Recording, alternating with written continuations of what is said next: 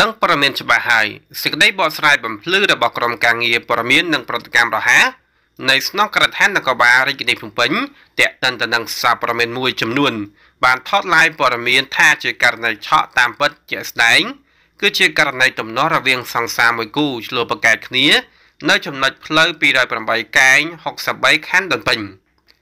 នៅថ្ងៃទី17កុម្ភៈឆ្នាំ2023វេលាម៉ោង1:30នាទីមានសង្មានអសង្សារមួយគូឆ្លោះប្រកែកគ្នានៅចំណុចផ្លូវ208កែងផ្លូវ63ភាគបាទភាគីខាងប្រុសឈ្មោះថាស៊ូឆូហាឆេ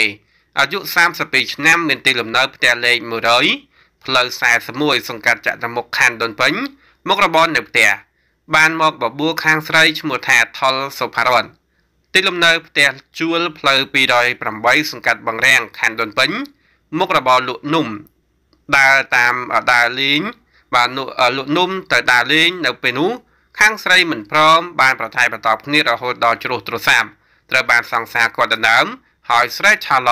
នឹងឲ្យអ្នកសារព័ត៌មានមកថតឡាយតែម្ដងគណៈនោះផងដែរកម្លាំងល្បាតនៃអធិការដ្ឋាននគរបាលខណ្ឌដូនពេញមកដល់កន្លែងកើតហេតុក៏បានជួយអន្តរាគមន៍ និងនាំយកមកពោះដើម្បីបាត់ធ្វើការសាកសួរជាលទ្ធផល គឺជាករណីឆ្លោះប្រកែកគ្នា ដោយមិនព្រមទៅដើរលេងជាមួយបន្ទាប់ពីបញ្ចប់ការសាកសួររួចភាគីខានារីសារភាពកំហុសតែខ្លួនបានប្រព្រឹត្តក៏ដូចជាបានធ្វើកិច្ចសន្យាឈប់ឆ្លោះប្រកែកគ្នា បំភ្លៃបរមានមិនពិតដែលធ្វើឲ្យប្រជាពលរដ្ឋទូទៅមានការយល់ច្រឡំ បើនេះជាដូចថាមើលថាបងប្អូន បាទតាមពិតទៅគឺមិនជាករណីឆក់ទេបងប្អូន គឺជាករណីបាទឆ្លោះប្រកែកគ្នាសង្សារនិងសង្សារណាបាទហើយព័ត៌មានអ្នកព័ត៌មានក៏គាត់ចេះផ្សាយទៅព្រោះថា